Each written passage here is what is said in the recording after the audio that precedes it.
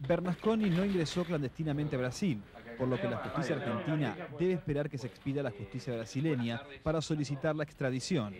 El modo de ingreso al país limítrofe es justo el punto en cuestión y esa es la diferencia fundamental que lo separa del caso del ex juez Francisco Trovato, que ingresó clandestinamente, por lo que fue expulsado cuando fue localizado.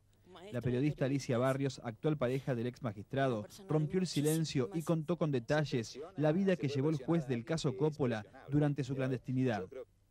Siempre supe que estaba en el convento de los hermanos Camilos de, Río, eh, sabía eh, de él, sabía que estaba haciendo servicio con ellos en la favela, que tienen una favela ahí cerquita.